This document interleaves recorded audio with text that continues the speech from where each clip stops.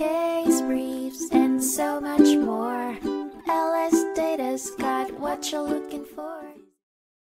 In the 1980 case of Diamond v. Chakrabarty, the Supreme Court of the United States ruled on the patentability of a genetically engineered bacterium capable of breaking down crude oil. The bacterium, created by microbiologist Chakrabarty, was at the center of a legal debate on whether it could be considered a manufacture or composition of matter under the law, which would make it eligible for a patent. Initially, the patent examiner rejected claims for the bacteria, arguing that microorganisms are products of nature and not patentable. Chakrabarty appealed this decision, and the Court of Customs and Patent Appeals ultimately reversed the rejection. The case then reached the Supreme Court, which affirmed that the lab created bacterium was indeed patentable as it was a non naturally occurring product of human ingenuity, significantly different from any naturally occurring bacterium and with potential utility.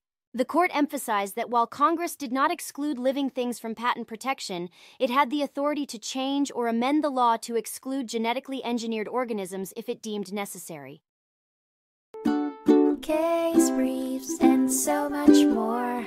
LS Data's got what you're looking for. Visit lsd.law, elevate your mind. Leave the stress of class.